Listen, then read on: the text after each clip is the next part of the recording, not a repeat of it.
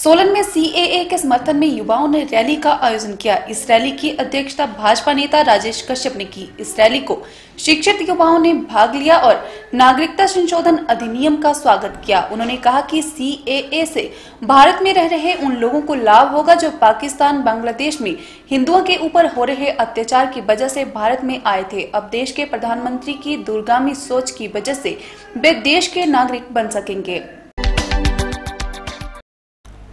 सोलन में सीएए के समर्थन में युवाओं ने रैली का आयोजन किया। इस रैली की अध्यक्षता भाजपा नेता राजेश कश्यप ने की। इस रैली में शिक्षित युवाओं ने हिस्सा लिया और नागरिकता संशोधन अधिनियम का स्वागत किया। उन्होंने कहा कि सीएए से भारत में रह रहे उन लोगों को लाभ होगा जो पाकिस्तान, बांग्लादेश में हिंदुओं के ऊपर हो रहे अत्याचार की वजह से भारत में आए थे। अब देश के प्रधानमंत्री की दूरगामी सोच की वजह से वे देश के नागरिक बन सकेंगे। प्रधानमंत्री जन कल्याण योजना के तहत सोलन में निकाली गई रैली के दौरान भाजपा नेता राजेश कश्यप और युवा भूपेंद्र ठाकुर ने कहा कि देश के प्रधानमंत्री नरेंद्र मोदी ने नागरिकता संशोधन अधिनियम लाकर एक साहसिक कदम उठाया है, जिसकी वजह से लाखों लोगों को फ़ायदा पहुंचेगा, जिसका वे स्वागत करते हैं। उन्होंने कहा कि प्रधानमंत्री के इस कदम के पक्ष में सैकड़ों शिक्षित युवाओं ने रैली निकाली है और उन्हें ये संदेश देने का प्रयास किया है कि उनके इस निर्णय में सोलन के युवा उनके साथ हैं।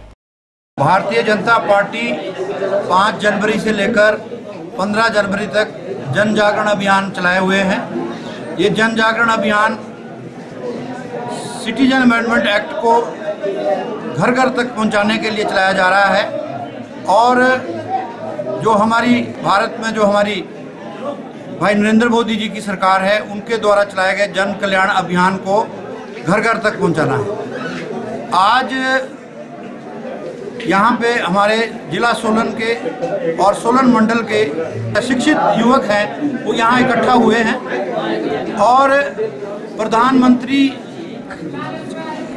जन कल्याण प्रचार योजना के तहत, उस झंडे के तहत हम आज सभी यहाँ पे पूरे शहर में जो है, लोगों को ये संदेश देंगे कि जो सिटीजन अमेंडमेंट एक्ट है, वो एक्ट जो है, भारत के नागरिकों के फेवर का एक्ट है। इसमें किसी की नागरिकता छीनी नहीं जानी है, इसमें हम नागरिकता दे रहे हैं। इसी के ऊपर आज हमारे जो पढ़े लिखे यूथ है, वो सारे यहाँ इकट्ठा हुए हैं और इसका प्रचार प्रसार करेंगे। आज जो सोलन के युवाओं ने यहाँ पर इतनी भारी मात्रा में इकट्ठे होकर हम लोगों का साथ दिया। जो हम सीए के समर्थन में जो रैली निकाल रहे थे, इसमें युवाओं ने बढ़ चढ़ कर भाग लिया।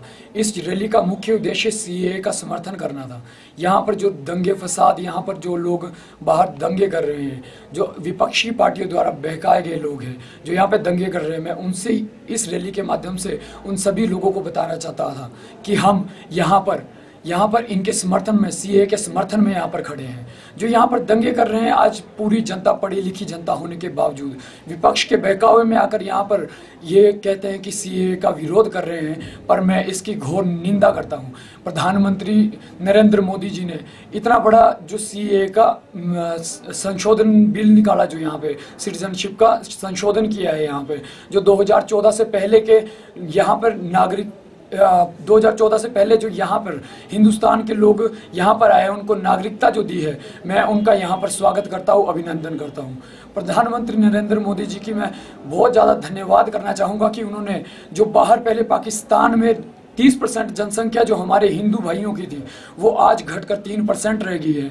फिर अगर वो आज अपने घर वापस यहाँ आना चाहते हैं तो हमको जो नागरिकता दी है, हम उसका यहाँ पर अभिवादन करते हैं, हम उसका स्वागत करते हैं। इसीलिए हमने इतनी बड़ी रैली जो सीए के यहाँ पर सीए की रैली की है, हमें इसीलिए की है।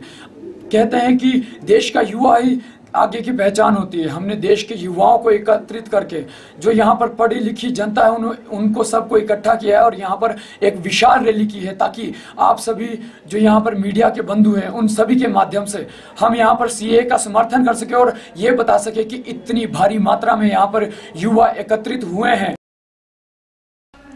तो ये था आज का कार्यक्रम। कल फिर हाजिर होंगे नई गतिविधियों के साथ। आप ऐसे ही जुड़े रहिए एच के साथ। नमस्कार।